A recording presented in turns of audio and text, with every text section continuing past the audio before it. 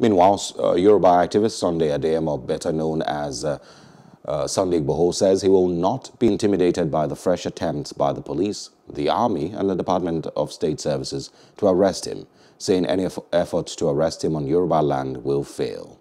He said this while reacting to the face-off between him and security agents around the Guru Maharaji bus stop along Lagos-Ibadan Expressway.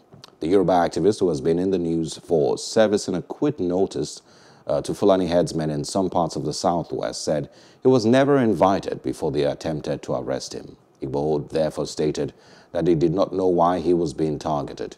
He advised the federal government to focus on capturing Boko Haram leader Abubakar Shekau and invite Islamic cleric Sheikh Ahmad Gumi, who has been meeting with bandits in recent times.